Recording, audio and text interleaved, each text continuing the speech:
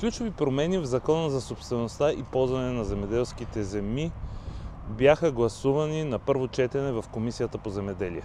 Видеото идва до вас благодарение на Corteva AgriScience и биостимулаторът от Риша Повече за него може да намерите в описанието на видеото.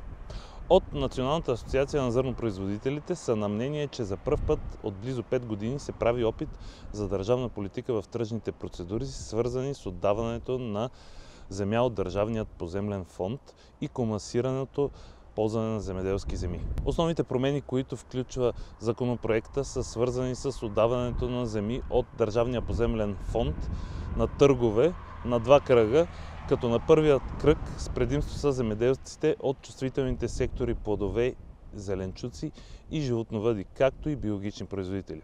А във втората тръжна сесия ще участват останалите земеделски производители. В условията за отдаване под найем или аренда се добавя изискването да се отдават имоти от ДПФ на лица с постоянен адрес на територията на общината по местонахождение на имотите.